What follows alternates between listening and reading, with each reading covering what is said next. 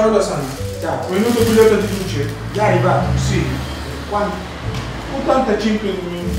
85. Sì. Domani porto Ma tu. non la cassare. No, normale, ecco. Vediamo domani. Sono la Sana.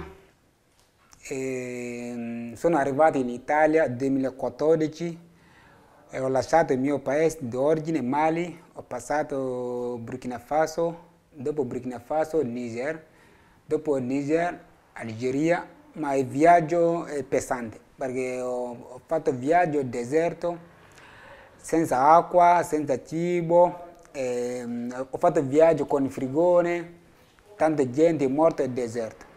Ho passato in Libia pochi giorni, eh, con il libiano han- hanno obbligato, eh, obbligato a noi di salire sul barco, ho passato il mare, prima volta, perché ho, ho avuto paura, eh, mare, eh, c'è buio, perché primo viaggio eh, passato il mare, sono venuto in Italia, eh, Lampedusa, eh, sempre nel 2014, ho venuto a Livorno, dopo Livorno, Andria. Sto bene, sto lavorando, ho avuto una casa, grazie a Dio, e comunità immigrantes libera. Io vengo dal Pakistan, io chiamo eh, Muhammad Akbar. Io prima entrato in Iran, dopo Turchia, dopo Grecia, dopo Serbia, Slovacchia, Austria, Germania. Dopo entrato in Italia 2015 dicembre.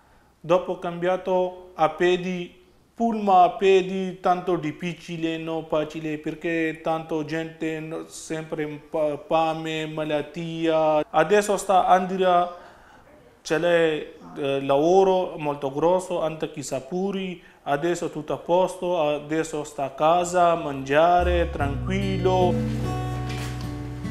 Ehi, ciao la Sana, Ciao. tutto a posto? Sì, sì. Allora, Sì, dimmi, che bella Come giornata.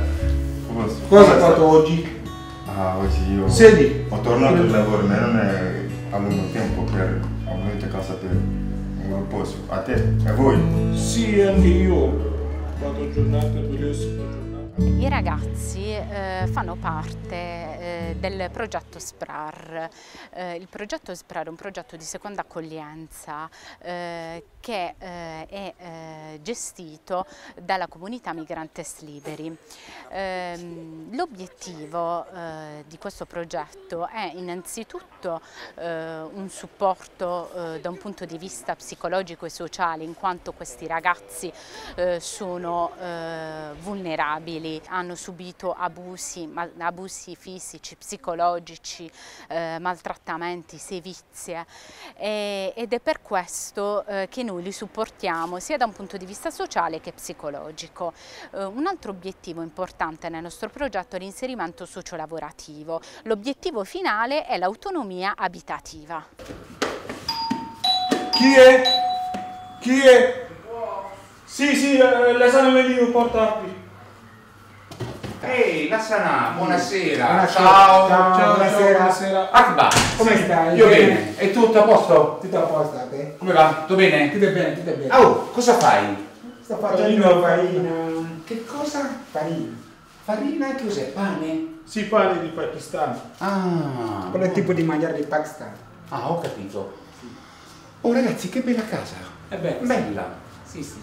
Non sono Ti mai piace? venuto. Bella. Ti piace? Vi siete sistemati proprio bene. Sì, sì. E voi come state? Va bene, bene. Sicuramente è importante guardare la faccia dell'altro, che l'altro è lo straniero, il migrante o chi abita vicino a casa mia, perché fin quando non guardo il volto dell'altro non mi accorgerò mai delle sue emozioni, delle sue sofferenze, delle sue tragedie, dei suoi traumi, delle sue violenze. Solo così l'umanità potrà ritrovarsi, guardandosi negli occhi, ma soprattutto guardando il volto. Il volto è l'espressione del nostro cuore, il volto è l'espressione dell'umanità che si ritrova insieme.